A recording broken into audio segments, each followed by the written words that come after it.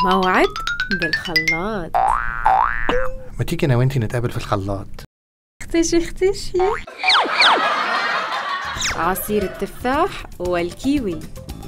ثلاث حبات كيوي مقشرة تفاحتين مقطعين لشرائح. ونخلط. وبألف صحة وهنا. مرة كمان. عصير التفاح والكيوي. ثلاث حبات كيوي مقشرة تفاحتين مقطعين لشرائح.